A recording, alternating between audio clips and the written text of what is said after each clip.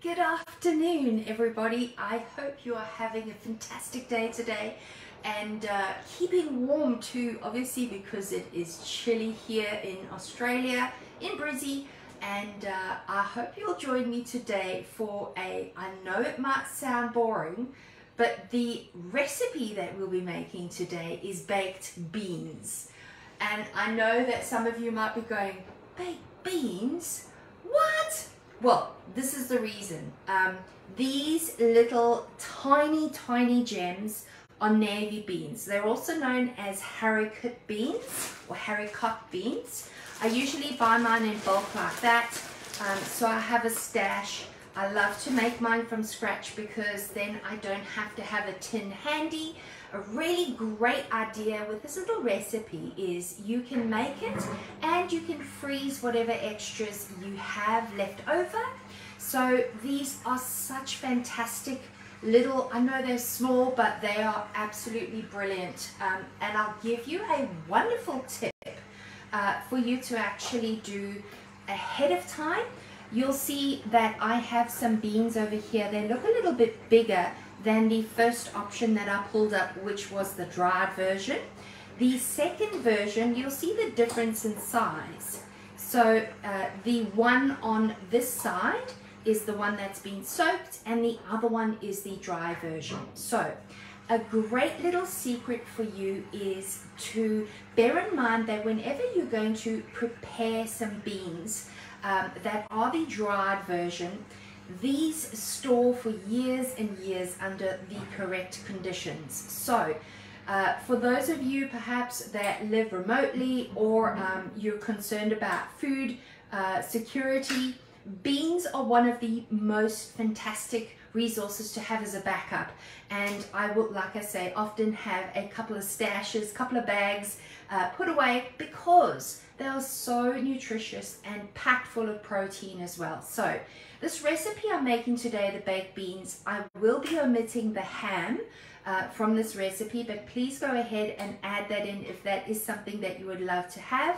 Um, and my secret top tip about beans is um, actually the bean that you choose, whatever you're choosing, it could be a different type of bean, but a really good example to help you along. I know this is a controversial subject, but those of you that struggle with a bit of flatulence when you do consume the bean, uh, a really great tip that I've found helps my guts is to actually soak them for two days instead of one. You will notice that after maybe even two or three hours, there will be some bubbles that come to the surface. Take get rid of that water and get a new set of water. We just keep doing that. Every time you come into the kitchen I usually put my beans next to where the uh, sink is and then I will just wash that water out. And you will notice a big difference. The longer you soak your beans for the better your body can handle those so that is my top little tip that I wanted to share with you today.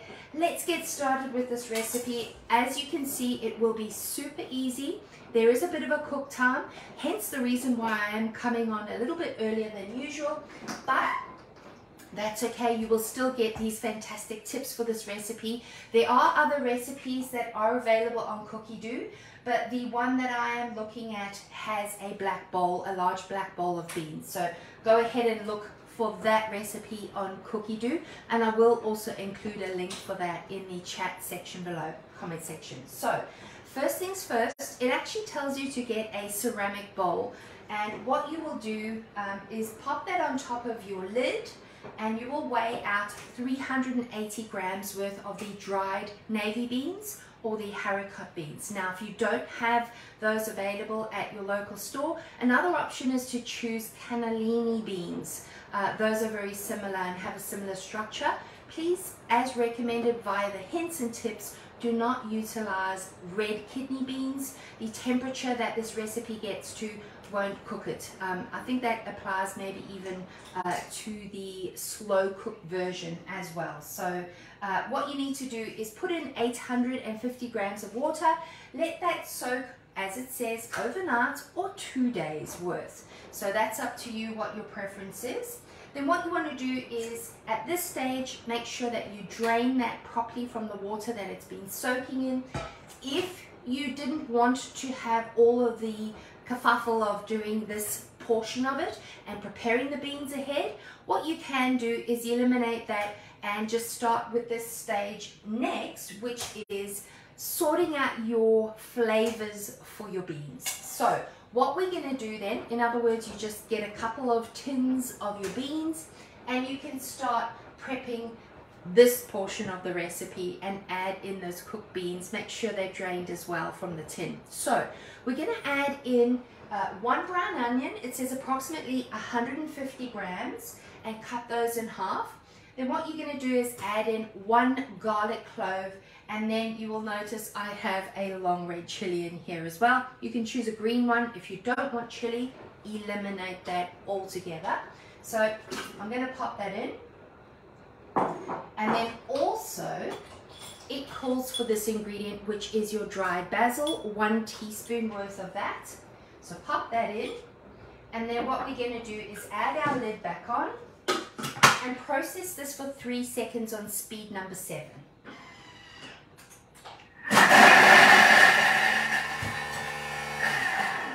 you could hear that it actually didn't even, it hit the side and we could have uh, uh, stopped it after a couple of seconds, literally, like one second. So what we're going to do then is scrape that down and then add in our veggie, or I should say our um, virgin olive oil. Um, you can use any oil that you prefer. Um, so even if you have your veggie oil or your sunflower oil, you can use that. 30 grams, so not too much and then we're going to then put the lid back on and that will cook for two minutes on 100 degrees Celsius and that's speed number one. So what that will do is just brown off the onions, get rid of that raw flavor, and then you're going to do a couple of extra steps. So there is a cook time of 45 minutes for the beans themselves, and then adding in a tin of tomatoes after that 45 minute cook cook time and that will do another 30 minute cook time after that. So hence the reason why I'm coming on earlier so there is a bit of time but the wonderful thing is this is a bulk recipe you can make a large amount so I haven't included um, before I decided what to do this week for cooking I'd already gone ahead and put in 250 grams worth of the dried beans soaking. So mine is just under, it's 250. Obviously the recipe calls for 380. So that's quite a big difference. I'm sure it most probably would come up to the top of the uh, basket. So that's quite a bit of beans. Um, the great thing though is if you love to cook ahead and have something stashed in your freezer, this is a wonderful addition to any soup or stew, especially at this time of year. Um, you can even make a great um, casserole and pop these in there. So uh, please bear in mind that this is, it does take a bit of time to make, uh, but the results are you have some extras uh, that you can have inside your fridge. It'll stay for three days and then obviously in your freezer for a couple of months. So make sure to label it, otherwise you won't remember what's inside your Ziploc bag or whatever container you have. So uh, there's a couple more seconds here. What we're going to do after this is add some extra flavorings to the beans. Some are optional. Uh, the first one is, uh, it actually asks for kombu. So 5 centimeter kombu, I won't be using that today. Um, I will leave that one out. But the next option, and I'm going to leave this one out too, it calls for one tablespoon worth of apple juice concentrate. So um, I'm not going to pop that in. It does say two teaspoons of molasses, and I'm going to cheat.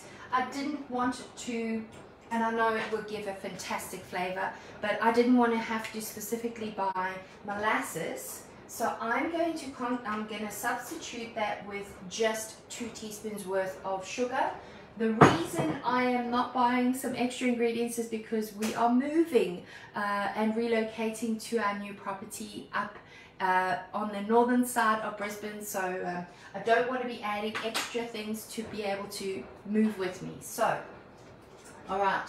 The next ingredient we're going to add in is one and a half tablespoons of your veggie stock. So if you haven't yet made your veggie stock uh, or in the habit of doing it, please do yourself a favor.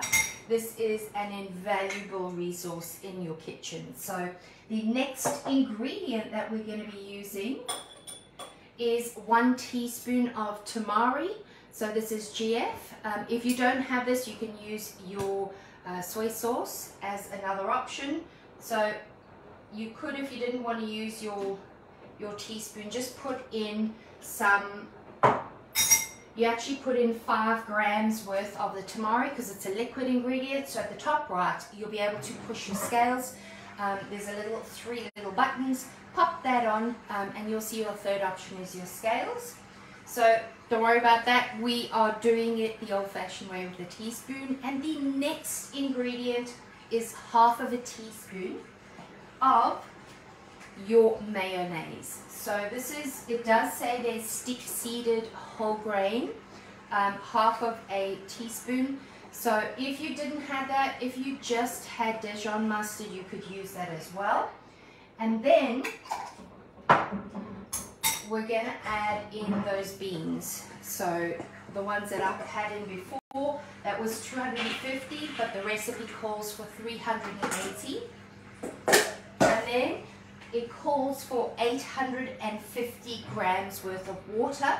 I will be reducing that as well because I don't want to add all of that in.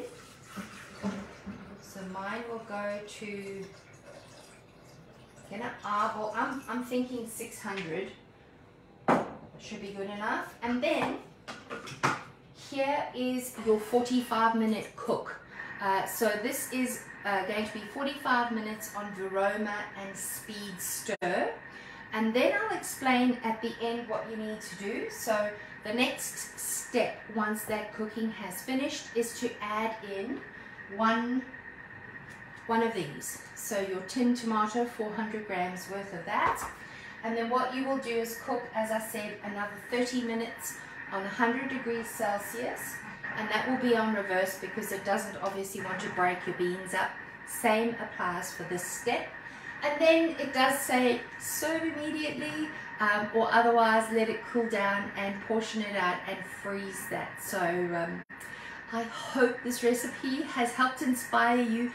Give the little beans a go. And if you are not too keen on cooking or making or preparing the dried version then just pull out a tin of beans and add those little extra flavorings and uh, you'll be surprised. I just realized I know I mentioned before that I was going to do the recipe with ham and that was the Boston baked beans. I think that's why I swapped it over because I, I knew I didn't have ham in my fridge. But anyway um, that is the recipe that you can find on cookidoo.com.au. So go and have a look for that. I hope you'll join me again on another day for another recipe in my kitchen. Thanks for joining me. I am Bee from Thermi Tucker. Take care.